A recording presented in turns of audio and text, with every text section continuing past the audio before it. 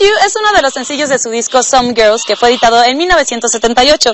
Es considerado uno de los mejores discos del grupo y esta canción fue compuesta por Mick Jagger y Keith Richards.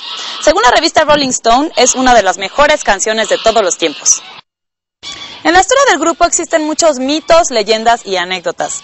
Una de ellas es que se dice que entre Mick Jagger y Keith Richards hay una relación muy enfermiza, que no se soportan el uno al otro pero siempre están juntos. Después de lanzar su disco Their Satanic Majesty's Request en 1967, se les conoce como sus satánicas majestades. De hecho, hay un mito que los rodea acerca de que hicieron un pacto con el diablo. Porque ¿cómo es posible que después de 50 años de carrera y con casi 70 años de edad y después de tantos excesos sigan viéndose tan bien? La respuesta que dio Keith Richards al respecto es que de vez en cuando se hacen cambios de sangre para eliminar todas las drogas de su cuerpo.